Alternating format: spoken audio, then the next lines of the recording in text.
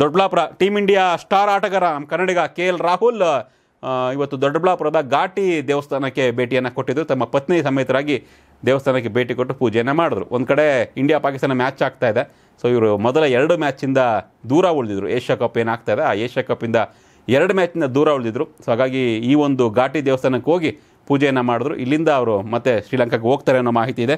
ದೊಡ್ಡಬಳ್ಳಾಪುರ ಸಮೀಪ ಇರ್ತಕ್ಕಂಥ ಘಾಟಿ ಸುಬ್ರಹ್ಮಣ್ಯ ಸ್ವಾಮಿಗೆ ಭೇಟಿಗೆ ಹೋಗಿದ್ದು, ದೇವಸ್ಥಾನಕ್ಕೆ ಭೇಟಿಯಾಗಿ ಪೂಜೆಯನ್ನು ಮಾಡಿದ್ರು. ಮಧ್ಯಾಹ್ನ ಹನ್ನೆರಡು ನಲವತ್ತೈದು ಸುಮಾರಿಗೆ ಪತ್ನಿ ಆತಿಯಾ ಶೆಟ್ಟಿ ಜೊತೆ ಹೋದಂತಹ ರಾಹುಲ್ ದೇವರ ದರ್ಶನವನ್ನು ಪಡೆದರು.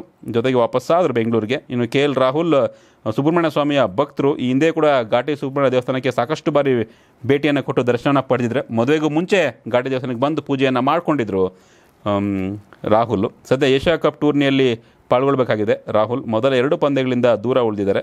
ಉತ್ತರ ಭಾರತ ಮತ್ತು ಪಾಕಿಸ್ತಾನ ಮತ್ತು ಭಾರತ ಮತ್ತು ನೇಪಾಳ ಪಂದ್ಯಗಳ ಅವರು ಗೈರಾಗಿದ್ದಾರೆ. ನಂತರ ಟೀಮ್ ಇಂಡಿಯಾವನ್ನ ಸೇರ್ಪಡೆ ಆಗಿದ್ದಾರೆ. ಈಗ ಪೂಜೆ ಮುಗಿಸಿ ಡೈರೆಕ್ಟ್ ಏಷ್ಯಾ ಕಪ್ಗೆ ಹೋಗ್ತಾ ಇದ್ದಾರೆ. ಒಳ್ಳೆಯದಾಗಲಿ ಕೆ ಎಲ್ ರಾಹುಲ್ ಅವರಿಗೆ ಮತ್ತು ಟೀಮ್ ಇಂಡಿಯಾಗೆ ಅಂತ ನಾವು ಶುಭ ಹಾರೈಸೋಣ